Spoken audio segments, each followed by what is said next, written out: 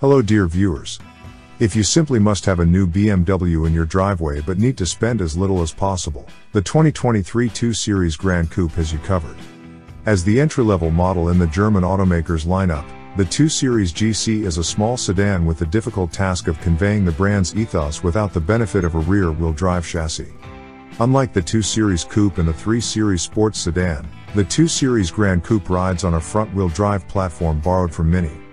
Handling is playful and a duo of turbocharged four-cylinder powertrains provide perky power, but neither the 228i nor the racier M235i feel as balanced as their stablemates. The interior, at least, is nearly as premium as other BMWs, and holds up nicely against rivals such as the Acura Integra and the Audi A3. Driving enthusiasts will likely yearn for the hotter M235i model, but the base 228i Gran Coupe will satisfy most drivers. We'd skip most options, but adding the convenience package, keyless entry, driver's side lumbar support, and a panoramic sunroof, seems like a no-brainer. Both 2 Series Gran Coupe models come with a turbocharged 2.0-liter four-cylinder.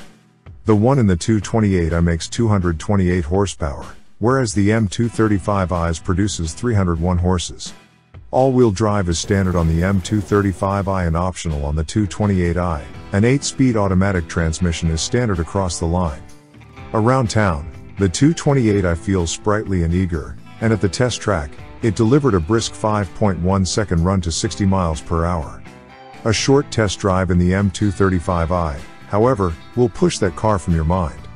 The M235i makes the entry-level model feel tame, and in our hands, it blasted to 60 miles per hour in just 4.2 seconds.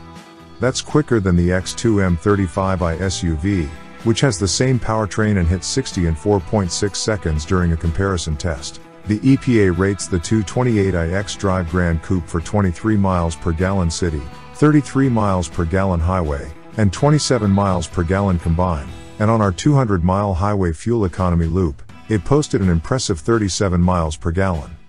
The more powerful M235i model earns nearly the same ratings as the 228i, 23 miles per gallon city, 32 miles per gallon highway, and 26 miles per gallon combined. What's more, in our testing, it delivered 37 miles per gallon too. Cabin styling matches that of modern BMWs such as the 3 Series sedan and the X3 SUV.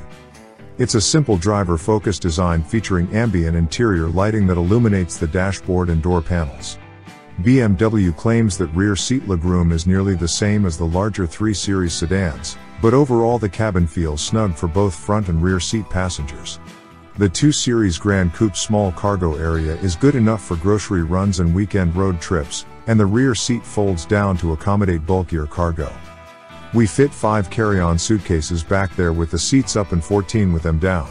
The driver faces a 10.3-inch reconfigurable digital gauge display and a dashboard-mounted 10.3-inch touchscreen. The latter is angled slightly toward the driver for ease of use. Navigation and Sirius XM satellite radio come standard, but a wireless smartphone charging pad and Harman Kardon stereo system will cost extra. And BMW provides Apple CarPlay and Android Auto compatibility at no charge. BMW's Active Driving Assistant, which includes a suite of driver assistance features to help reduce the likelihood of an accident, comes standard. Key safety features include automated emergency braking with pedestrian detection, blind spot monitoring with rear cross traffic alert, lane departure warning with lane keeping assist. That's all, see you next videos.